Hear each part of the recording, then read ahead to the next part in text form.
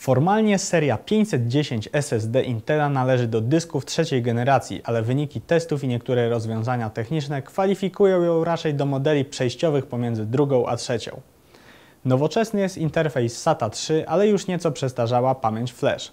To dziwne, bo sam Intel robi nowsze.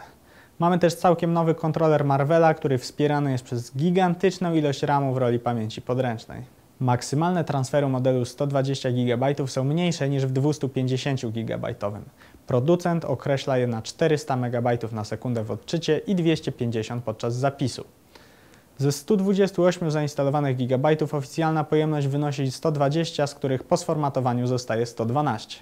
Intel 510-120 GB okazał się napędem wolniejszym od bliźniaczego modelu o pojemności 250. W HDTune czytał 275 MB na sekundę, a zapisywał w tempie 130.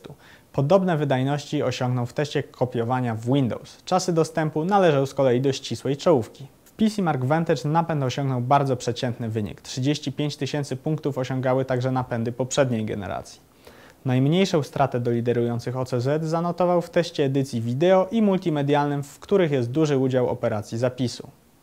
Intel 510 zużywa za to niewiele energii. W czasie spoczynku pobiera tylko 48 mA, w czasie odczytu 240. Jedynie zapis jest bardziej energochłonny, bowiem pochłania 612 mA.